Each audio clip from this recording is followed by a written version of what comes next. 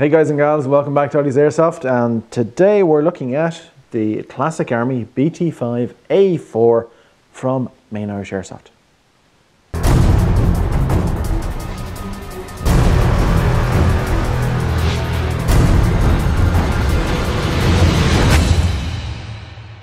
This review has been brought to you in part by Main Irish Airsoft.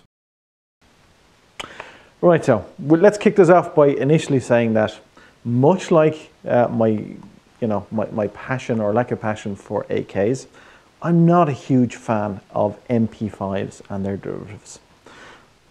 But there's absolutely no denying how popular they are on airsoft fields. Um, I think maybe one of the appealing points about MP5s and their derivatives, of course I shouldn't be calling it an MP5 because it's a BT5, um, is that there are so many different variants, okay? This particular one, the A4, is uh, a Classic Army Proline version. But having a very quick look at the Classic Army catalogue, there are 14 different variants alone in the Classic Army catalogue.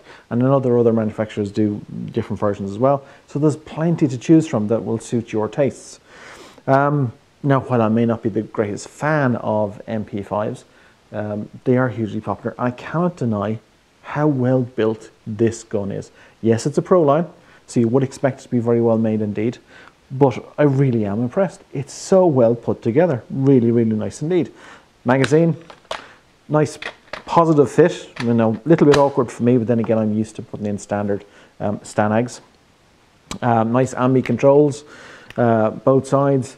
I like the sights, locking bolt catch. Um, the hop adjuster on this is a little bit unusual. It's more like uh, what I've come, become used to seeing on, um, say, sniper rifles. Rather than being a drum or a, a, little star wheel, it's actually a slider, which makes it, really you know, handy enough to adjust if you're not wearing gloves. But if you are wearing gloves, could be a bit fiddly, but then again, all hop units are. Uh, so as I say, very, very nicely made.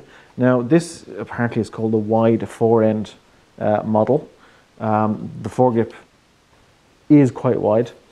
Uh, and it is actually removable. What I don't like about this is that there is a little bit of wobble in it, and that doesn't particularly appeal to me.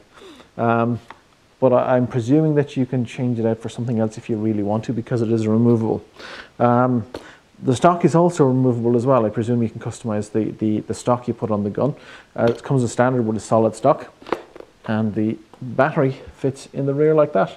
Um, looking at that, mm, it probably would take a large, but I couldn't swear to you that it would take a large battery. Um, but you know, um, each to their own. It depends, I suppose, what you want out of it. The magazines to me always looked a bit fiddly. Now, I'm not a big fan of, of high cap magazines, even in my, my A4s, although I have used them. And just, to me, just seems maybe to be a little bit fiddly, but maybe that's because I'm not a huge fan of, of MP5s anyway. There we go again, calling it an MP5. Um, it is a BT5. Why is it a BT5?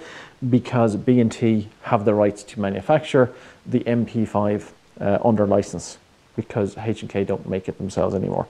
So it is, it does have licenses, B&T here, um, nice feature there, stamped on the, the body, the metal body. It actually says CAL 9mm by 19, which is nice.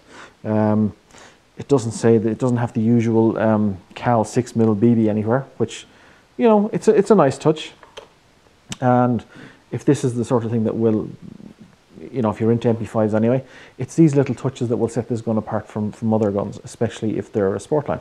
Um, but you know, build quality says very nice. Listen to this. Nice. You know, that is a nice feature. I don't know if that's on every MP5. Let's do it again. Nice. Right? It is a very, very nice piece. Now, I haven't taken this out into the field because um, we only had the one mag for it, and it's very impractical going out in a skirmish with only the one mag. But you know, it does fire nicely. Um, it's a nice compact piece, but I think it's meant to be. It is an SMG, okay? It's not meant to be a full assault rifle. Um, so relatively short barrel. I'm guessing it's, I don't know, 229 mil. I haven't looked at the specs. I'm guessing it's typical short uh, SMG type length. Um, but you know, a nice piece, very well made, apart from a little wobble at the foregrip. So uh, all in all, a nice piece. Will it sway me to the MP5 dark side? Probably not. There are, for me anyway, there are other nicer SMGs out there. Um, but if you're an MP5 fan, or a BT5 fan in this case, this is definitely one you should check out because it is very, very nicely made. Um, the stock itself, even though it's removable by a single pin, is solid. It's not going anywhere. Um, the body, predominantly metal, very nicely made, very well painted.